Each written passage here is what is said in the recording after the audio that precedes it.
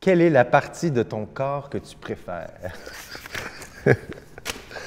Mes mollets.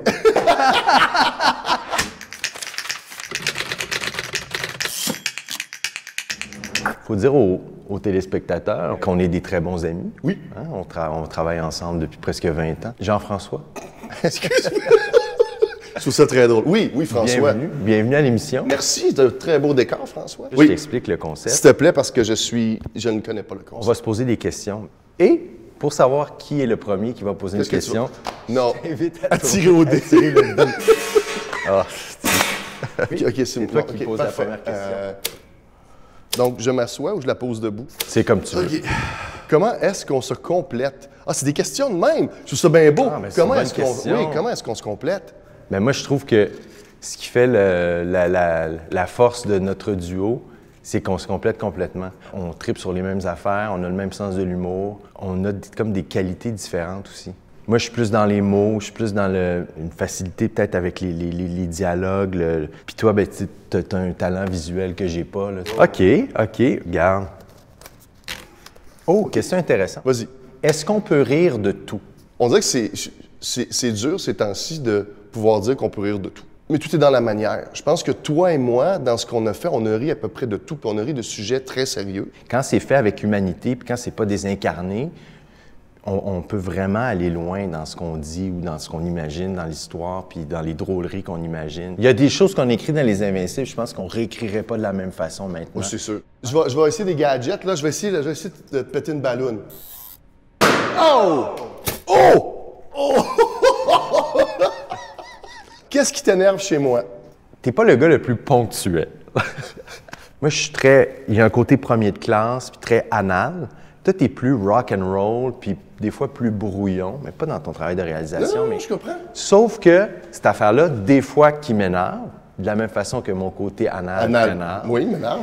euh, c'est aussi ta qualité dans notre duo. C'est que des fois, tu vas brasser les affaires d'une façon que je ferais pas. Fait que dans le fond, je trouve, dans le fond, ton défaut est aussi une qualité. Ouais. Hey. Hey! Tu m'énerves.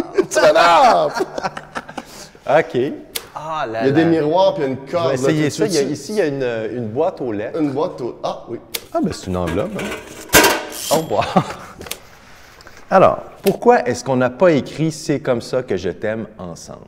Ben, je trouve le processus d'écriture très difficile. Contrairement à toi, t'aimes ça, te mettre devant ton ordinateur, l'allumer. Moi, je trouve ça très difficile. Je voulais être plus sur le plateau, fait que j'ai comme décidé de me trouver d'autres jobs puis d'aller simplement réaliser et essayer pour la première fois de réaliser l'œuvre C'est comme une thérapie. de quelqu'un. couple. On Mais a de fait une thérapie de couple. Non, oui, ce qu'on fait là. Fait que c'est un peu, c'est un peu pour ça. C'est une nouvelle dy- dynamique. Après la première saison là, de Série Noire, là, Oui. ce qu'on n'a jamais dit, c'est qu'on voulait pas. On voulait pas que ça revienne. Euh, c'est comme si, avec Série Noire, on est, arrivé à la fin d'une façon de collaborer. Oh boy! Quand est-ce que tu t'es senti adulte pour la première fois? Euh, ben, je dirais à la naissance de mon fils, en fait. C'est Patrice Robitaille qui dit souvent ça. c'est avoir un enfant, c'est t'arrêtes d'être l'enfant de ta vie. Là. Moi, moi, ça a fait l'effet contraire. Pour vrai? La naissance de ma fille, ça m'a fait encore plus sortir l'enfant que je suis. Ah oui, ben oui, c'est Parce intéressant. que je. Autant que oui, je deviens adulte avec les responsabilités. Tu eu plus tard. Oui, c'est ça. Je me mets comme à son niveau, puis j'adore ça. tu sais. Oh! L'enveloppe. Oh! De surprise en surprise. Hey, c'est quelque chose. Serait-on amis si on ne travaillait pas ensemble? Moi, je dirais que oui. Ouais. Mais je sais pas comment ça a évolué. Mais notre lien principal a toujours été quand même les projets artistiques. Ceci dit, quand on travaillait pas ensemble, on se voyait encore. Mais, mais moi, je trouve que notre amitié est quand même. euh, on se voit en dehors du. On se voit, on s'appelle, on, on se voit. Oui, puis je veux dire, euh, en même temps, euh, au- autre que se voir, c'est que, tu sais, quand tu travailles, je veux dire, moi, je m'ouvre à toi, là. Si je m'ouvre à toi, t'es mon ami, oui. là. Ah oui, c'est Je clair. veux dire, il y a des Ouais. moments où ça filait pas, ça va pas, toi non plus, puis on est au travail. Je veux dire, c'est pas comme on punch pas, là. C'est à cause du travail qu'on a ce lien-là. T'es Ça- mon ami, Jean-François.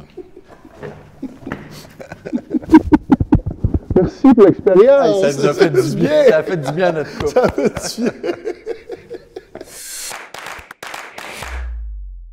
Il nous reste euh, une question. La mission d'écrire euh, Oui, une il faut écrire une question. Que choisirais-tu? Être en amour? Non, vivre la plus belle histoire d'amour de ta vie. OK. Ou avoir la carrière de tes rêves. C'est bon, ça. Tiens, je vais te laisser écrire ton nom.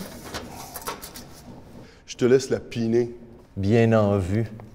Même si c'est une très mauvaise question.